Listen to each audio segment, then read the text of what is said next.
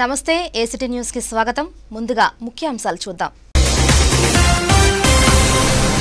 పటిష్టంగా కరోనా నివారణ చర్యలు? జిల్లా కలెక్టర్ రేవు ముత్యాలరాజు. ధాన్యం కొనుగోలుకు పకడ్బందీ చర్యలు? అధికారులకు జాయింట్ కలెక్టర్ వెంకటరమణారెడ్డి సూచన. గెలిపే లక్ష్యంగా ఐక్యంగా పనిచేయండి. నాయకులు కార్యకర్తలకు దెందులూరు ఎమ్మెల్యే కొట్టారు అబ్బాయి చౌదరి దిశానిర్దేశం. కరోనా కట్టడికి ముందస్తు చర్యలు ద్వారకా తిరుమల ఆలయంలో ప్రత్యేక జాగ్రత్తలు. సారు పారిశుధ్యాన్ని మెరుగుపరచండి. అధికారులకు ఎన్ఆర్పేట వాసుల వినతి. ఇక వార్తల్లోని వివరాల్లోకి వెళ్తే జిల్లాలో కరోనా వైరస్ నివారణ చర్యలు పటిష్టంగా చేపట్టడం జరిగిందని జిల్లా ప్రజలు ఎవరూ ఆందోళన చెందాల్సిన అవసరం లేదని జిల్లా కలెక్టర్ రేవు ముత్యాలరాజు సూచించారు. విదేశాల నుంచి వచ్చిన వారిపై ప్రత్యేక దృష్టి పెట్టాలని వారిలో కరోనా లక్షణాలు కనిపిస్తే వెంటనే వైద్య శాఖ అధికారులకు సమాచారం అందించాలని వైద్య ఆరోగ్య శాఖ అధికారులను ఆదేశించారు. స్థానిక కలెక్టరేట్ నుండి మంగళవారం వివిధ శాఖల అధికారులతో నిర్వహించిన వీడియో కాన్ఫరెన్స్లో కోవిడ్ నైన్టీన్పై తీసుకోవాల్సిన జాగ్రత్తలపై సమీక్షించారు. ఈ సందర్భంగా ఆయన మాట్లాడుతూ గ్రామ స్థాయిలో కోవిడ్ నైన్టీన్ పర్యవేక్షణ నియంత్రణకు ఫీల్డ్ సర్వేలెన్స్ టీంలు పంచాయతీ కార్యదర్శి ఏఎన్ఎం ఆశా వర్కర్ అంగన్వాడీ వర్కర్లతో గ్రామ వార్డు సచివాలయాల పరిధిలో ఏర్పాటు చేయడం జరిగిందన్నారు. వీరు విదేశాల నుండి వచ్చిన ప్రయాణికుల వివరాలు సేకరించి ప్రతిరోజు నివేదికలను అందించడంతో పాటు వారిని వారి కుటుంబ సభ్యులను ఇరవై ఎనిమిది రోజుల పాటు గృహం విడిచి బయటకు వెళ్ళకుండా ఉండే విధంగా చూడాలని ఆదేశించారు. ఈ వీడియో కాన్ఫరెన్స్లో joint collector two N. Tej Bharat covid nineteen జిల్లా పరిశీలకులు Shivashankar Babu DMHO doctor Subrahmanyeswari DCHS doctor Shankarrao తదితరులు పాల్గొన్నారు. వాళ్ళు వాళ్ళు ఇన్ఫెక్ట్ అయినట్టు తెలియదు. సిమ్టమ్స్ రావడానికి కొంత టైం పట్టే అవకాశం ఉంది. సో ఈ లోపల వాళ్ళు ఎక్కువ పబ్లిక్ ఉన్న ప్లేసెస్కి వెళ్ళటం కానీ ఎక్కువ దూరం దూరం ట్రావెల్ చేసినప్పుడు ఈ దగ్గటం కానీ తుమ్మటం కానీ ఇలాంటివి రావటం వల్ల ఎక్కువ మందికి స్ప్రెడ్ చేసే అవకాశం ఉంటుంది. సో ఇది థర్డ్ స్టేజ్కి వచ్చేస్తుంది. సో వేరే కంట్రీస్లో ఎక్స్పీరియన్స్ ఏంటంటే ఈ సెకండ్ స్టేజ్ తర్వాత థర్డ్ స్టేజ్లో ప్రతి వారానికి cases number of cases double అవుతుంది. డబుల్ అవటం అంటే మనకి సింపుల్గా ఒక కంట్రీ తీసుకుంటే సపోజ్ మూడు వందల కేసులు ఉన్నాయనుకోండి ఒక మూడు వారాలకి. నాలుగో వారం వచ్చేసరికి మూడు వందలల్లా ఆరు వందలు అవుతాయి. ఐదో వారం వచ్చేసరికి ఆరు వందలల్లా పన్నెండు వందలు అవుతాయి. తర్వాత రెండు వేల నాలుగు వందలు తర్వాత ఐదు వేలు తర్వాత పదివేలు అలా ఎక్కువ మంది ఎఫెక్ట్ అయ్యే అవకాశం ఉంది. సో అంతేగాని పుకార్లు పలానా విలేజ్లో పలానా ఒకటి వచ్చిందంట పలానా చోట వచ్చిందంట ఇలాంటి అనేది నమ్మదు కాకపోతే ప్రికాషన్స్ తీసుకోవాలి. ప్రికాషన్ మెజర్స్ వల్లే మనం దీన్ని కంట్రోల్ చేయగలం జిల్లాలో యాభై బెడ్లు ఒక తొమ్మిది ఇన్స్టిట్యూషన్స్లో ఐసోలేషన్ వార్డ్స్ తయారు చేస్తున్నారు. వాటిలోకి అతన్ని పంపించడం జరుగుతుంది. సో ఇలాగా ఐడెంటిఫికేషన్ ఐసోలేషన్ సిమ్టమ్స్ ఉన్నాయా లేదని గుర్తించడం అతను కేటగరైజ్ చేయడం ఏ కేటగిరీలోకి వస్తున్నాడు అనేది హై రిస్కా మోడరేట్ రిస్కా లో రిస్క్ అని కేటగరైజ్ చేయడం కేటగరైజ్ చేసిన వాళ్ళని హై రిస్క్ ఉన్న వాళ్ళందరినీ మెడికల్ ఆఫీసర్తో చెకప్ చేయించడం నెక్స్ట్ ఇరవై ఎనిమిది రోజుల పాటు అతను బయటికి వెళ్ళకుండా చూడటం. ఏఎన్ఎం ఆశా వర్కర్స్ యొక్క కంప్లీట్ బాధ్యత పంచాయత్ సెక్రటరీస్ యొక్క రబీలో రైతుల నుంచి ధాన్యం సేకరణకు పటిష్టమైన చర్యలు తీసుకోవాలని జిల్లా జాయింట్ కలెక్టర్ వెంకటరమణారెడ్డి సూచించారు. స్థానిక కలెక్టరేట్లో మంగళవారం రబీ ధాన్యం రకాలపై రెండు రోజుల పాటు నిర్వహించే అవగాహన సదస్సులో ఆయన మాట్లాడారు. వచ్చే నెలలో ధాన్యం కొనుగోలు కేంద్రాలు ప్రారంభించేందుకు తగు చర్యలు చేపట్టాలన్నారు. దళారీ వ్యవస్థను నిర్మూలించేందుకు నిజమైన రైతుల నుండి ధాన్యం కొనుగోలు చేసి వారికి సరైన గిట్టుబాటు ధర అందించాలన్నారు. రైతులు Aadhaar card bank passbook xerox biometric వేలిముద్రలతో ధాన్యం కొనుగోలు కేంద్రాల్లో తమ పేరు నమోదు చేయించుకోవాలన్నారు. కొనుగోలు చేసిన నలభై ఎనిమిది గంటల్లోగా మిల్లులకు చేరే విధంగా ప్రణాళిక రూపొందించాలని ధాన్యం కొనుగోలులో ఎటువంటి ఇబ్బందులు తలెత్తకుండా ముందుగానే సిద్ధంగా ఉండాలని సూచించారు. ఈ సమావేశంలో సివిల్ సప్లై జిల్లా మేనేజర్ రాజు సబ్జెక్ట్ నిపుణులు మిశ్రా శ్వేత తదితరులు పాల్గొన్నారు. మిల్క్ అంత కంటే నువ్వు ఎక్కువ ఈసారి అలో చేయదు నువ్వు పంపినా కూడా అంత మించిపోదు ముందు మీరేమో మిల్క్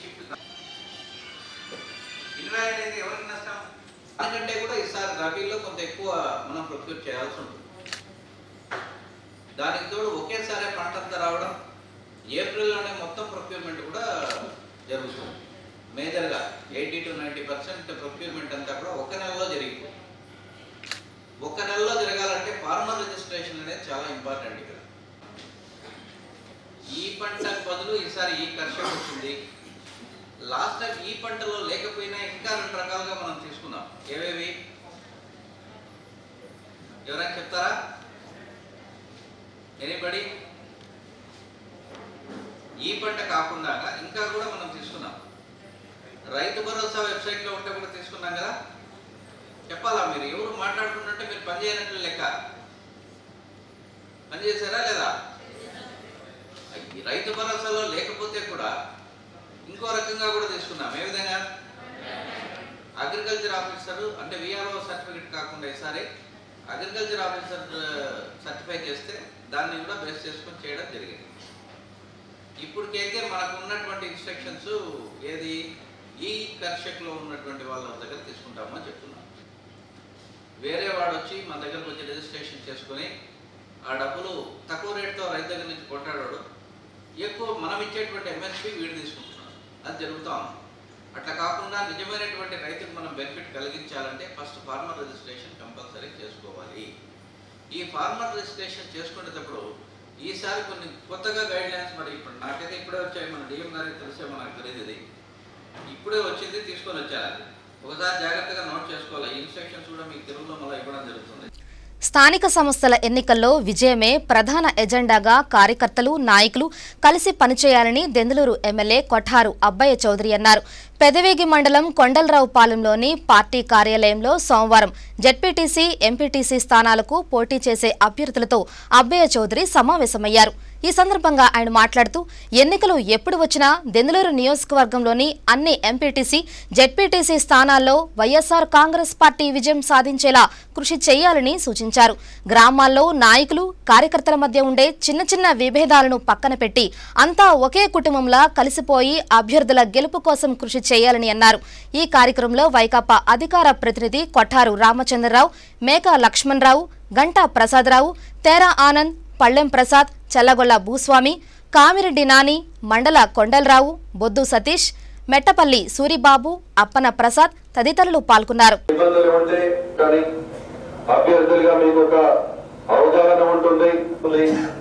విజయమే మనం ముందుగా పెట్టుకుని ముందుకు నడవలతో కూడా ఒకసారి నేను చదివి చదువుతాను. ఎందుకంటే మంది కాబట్టి.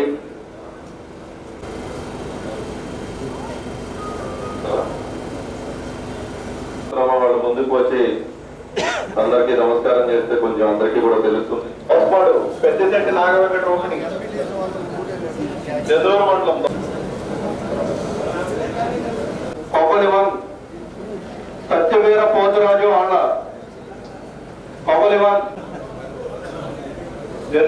తోట విజయకుమారి గారు. విజయకుమారి గారు. కోపలపాలెట్టు శోభా ప్రభుదాస్ నాయకుడిపై ప్రతి కార్యకర్తపై కూడా ఉంది అని తెలియజేస్తున్నాను ఈరోజు ఒకటి గడప గడపకి తిరగటం. రెండవది ఇంకా మన పార్టీ బలోపేతానికి మీ గ్రామాల్లో ఎవరున్నా ఇంకా మన పార్టీలో ప్రారంభించాల్సిన ఆవశ్యకత ఉందా? ఇదివరకు జరిగిన ఎన్నికల్లో ఎంపీటీసీ ఎన్నికల్లో లోకల్ ఎన్నికల్లో మీకు ఎక్కడి నుంచి ఎన్ని ఎంత ఓట్లు వచ్చాయి ఏ వార్డులో మనకి ఇబ్బంది ఉంది? లేకుంటే మీరు మాతో చర్చించాల్సిన ఆవశ్యకత ఉంటే నేను ఇప్పుడు లోపల కూడా పిలుస్తాను అప్పుడు చెప్పండి. ఏదన్నా నాయకుల మధ్య ఇబ్బంది ఉండి మీకు సహకరించకపోయినా ఈరోజు ఎవరికైతే బీ ఫామ్ ఇచ్చామో వాళ్ళ వెనకమాల ప్రతి నాయకుడు తిరగాల్సిన ఆవశ్యకత ఉంది. మీకు గ్రామంలో కనుక ఏదైనా ఇబ్బందులు ఉన్నా మన ఎన్నుకున్న అభ్యర్థిపై ఇబ్బంది ఉన్నా కూడా మనమంతా కూడా ఒక వైఎస్ఆర్ కుటుంబం. ఆ కుటుంబం కింద ఇప్పటికే ఏడు ఎంపీటీసీలు నార్మల్స్గా గెలిచి ఉన్నాం నాలుగు జడ్పీటీసీలు ఉన్నాయి. ఒకటి ఆల్రెడీ నార్మల్స్గా గెలిచి ఉన్నాం ఇప్పటికే కౌంటింగ్ ప్రారంభమైంది. తప్పకుండా డెబ్బై ఐదు డెబ్బై ఐదు గెలిచే విధంగా మనం పని చేయాల్సిన అవసరం ఉంది. డెబ్బై ఐదు ఎంపీటీసీలు కూడా గెలిచే విధంగా మనం వర్క్ చేద్దాం. నాలుగు ఎంపీటీసీ అభ్యర్థులు కూడా గెలిచే విధంగా మనందరం వర్క్ చేయాలని చెప్పి ముఖ్యంగా ఈరోజు మనం మీటింగ్కి వచ్చాం. అభ్యర్థుల్ని మీ అందరికీ కూడా చూపించాల్సిన అవసరం ఉంది మాపై ఎందుకంటే బీ ఫామ్ ఇచ్చిన క్యాండిడేట్గా నియోజకవర్గ వ్యాప్తంగా కూడా అందరికీ పరిచయం అవ్వాలి అనే ఉద్దేశంతో ఇవ్వటం జరిగింది. తప్పకుండా వాళ్ళందరూ కూడా విజయోత్సవ ర్యాలీతో మరొకసారి అందరం కలుద్దాం. కానీ ఎన్నికలు రేపు మళ్ళీ రీషెడ్యూల్ అయ్యి పది రోజుల్లో ఉండనివ్వండి లేకుంటే ఆరు వారాల తర్వాత ఉండనివ్వండి. ఎన్నికలు వారం రోజులే సమయం ఉందనంగా అనే విధంగా మనందరం కూడా కష్టపడాల్సిన అవసరం ఉంది. ఒకవేళ ఆరు వారాలకు పోస్ట్ పోన్ అయినా సరే ప్రతి గ్రామంలో కూడా క్యాంపెయినింగ్ కంటిన్యూ కోరుతూ ఉన్నాం దేశంలో కరోనా అనుమానితులు బాధితులు పెరిగిపోవడంతో ద్వారకా తిరుమల శ్రీ వెంకటేశ్వర స్వామివారి దేవస్థానం అధికారులు కూడా అప్రమత్తమయ్యారు. దేవాలయంలో కరోనా వైరస్ రాకుండా రక్షణ చర్యలు చేపట్టారు. ఎన్నో ప్రాంతాల నుంచి వచ్చే భక్తులకు దృష్టిలో ఉంచుకొని ఈ వైరస్ వ్యాప్తి చెందకుండా ఆలయ ప్రధాన ప్రాంతాల్లో బ్లీచింగ్ డెటాల్ నీటితో తరచూ శుభ్రం చేసేందుకు ప్రత్యేక సిబ్బందిని నియమించారు. క్యూ కాంప్లెక్స్లు ప్రసాదాల కౌంటర్లు కేశఖండనశాల అన్నదాన సత్రం తదితర ప్రాంతాలను తరచూ శుభ్రం చేసేందుకు ప్రత్యేక చర్యలు తీసుకుంటున్నట్లు ఈవో దంతులూరి పెద్దిరాజు తెలిపారు. క్షేత్రానికి వచ్చే భక్తులు హ్యాండ్ శానిటైజర్లు మాస్కులు ధరించి రావాలని దగ్గు జలుబు జ్వరం లక్షణాలు ఉంటే స్వామివారి దర్శనానికి రావద్దని సూచించారు. కాగా మంగళవారం భక్తుల రద్దీ తగ్గటంతో శ్రీవారి ఆలయం వెలవెలబోయింది.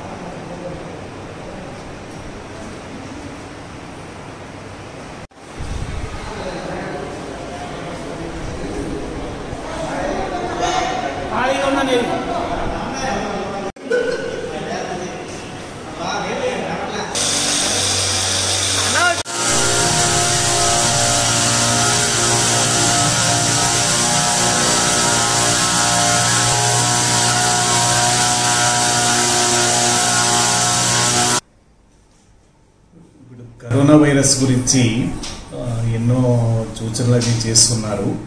మన ఎండోమెంట్ ప్రిన్సిపల్ సెక్రటరీ గారు తర్వాత కమిషనర్ గారు ఎన్నో సర్క్యులర్ ఇన్స్ట్రక్షన్స్ కూడా ఇచ్చారు. అప్రమత్తతో వ్యవహరించమని చెప్పేసి భక్తులకు సూచన చేయమని చెప్పి చెప్పున్నారు. ఉన్నారు ప్రపంచవ్యాప్తంగా ఎన్నో దేశాల్లో ఈ కరోనా వైరస్ అనేది శీఘ్రగతన వ్యాప్తి చెందటం వలన ముఖ్యంగా రాష్ట్రంలో ప్రముఖ దేవాలయాల్లో ఒకటిగా మనకు ద్వారకా తిరుమల క్షేత్రం ఉండటం వచ్చినటువంటి సిబ్బందికి ఎన్నో రకాల సూచనలు అవి చేస్తున్నాము.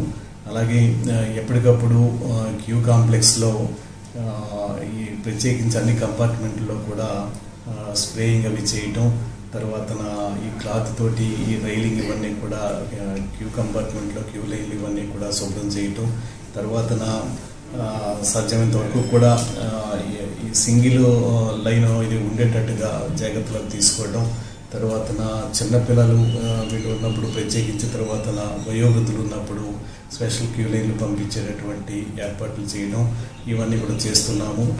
నగరంలోని పలు ప్రాంతాలలో అపారశుద్ధ్యం కారణంగా అంటువ్యాధులు ప్రబలే అవకాశాలు కనపడుతున్నాయి.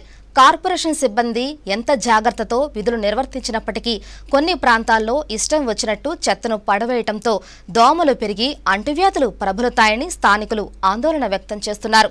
ప్రధానంగా స్థానిక నరసింహారావుపేటలోని రైల్వే ట్రాక్ వెంబడి ఇష్టం వచ్చినట్టు చెత్త పడవేయటంతో ఆ మార్గం గుండా వెళ్ళాలంటే జనం భయపడిపోతున్నారు. తరచూ ఈ ప్రాంతాల్లో శుభకార్యాలు జరగటం భోజనాల అనంతరం ఆకులు ఇతర వ్యర్థాలను ట్రాక్ పక్కన ఖాళీ స్థలాల్లో పడవేయటంతో అపారిశుద్ధ్య వాతావరణం నెలకొంటోంది. ఇప్పటికైనా అధికారులు జోక్యం చేసుకుని ఈ ప్రాంతంలో పారిశుద్ధ్య పరిస్థితులు పూర్తి స్థాయిలో మెరుగుపడేలా చర్యలు తీసుకోవాలని స్థానికులు కోరుతున్నారు.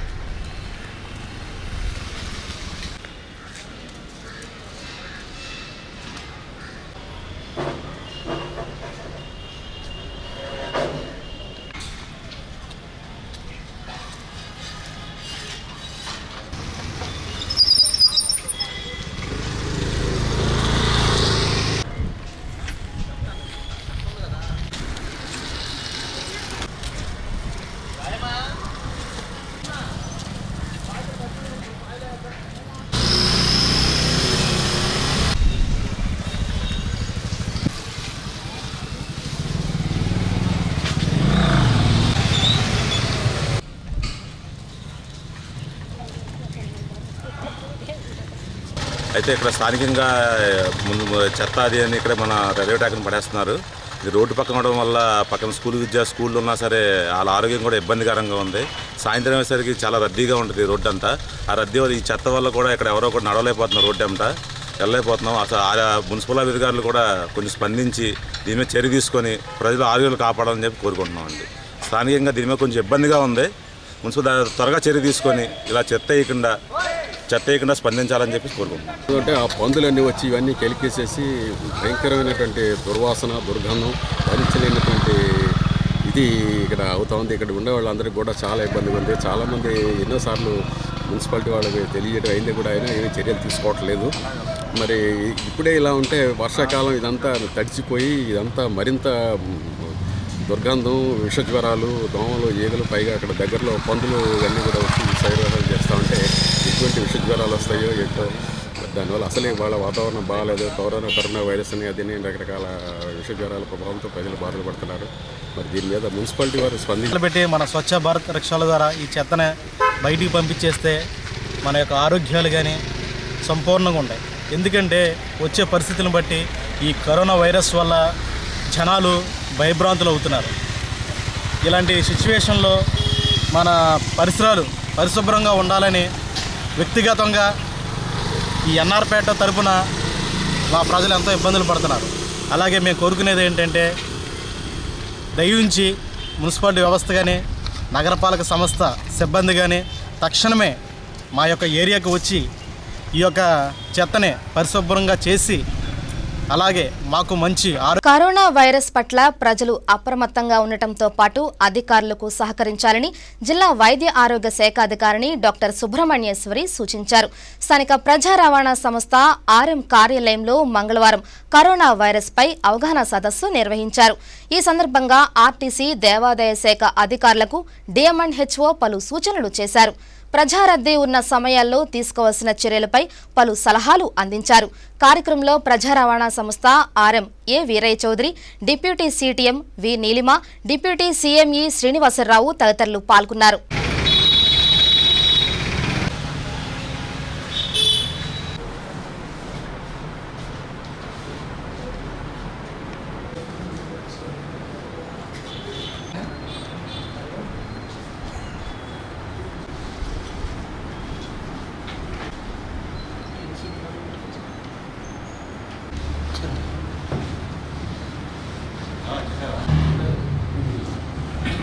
లో కోవిడ్ నైన్టీన్ కేసులు కొంచెం వంద దాటి ఇంకా నమోదు అవుతూ ఉన్నాయి వివిధ రాష్ట్రాల్లో. అలాగే మన రాష్ట్రంలో నెల్లూరులో మాత్రమే ఒక్క కేసు మనకి పాజిటివ్గా వచ్చింది.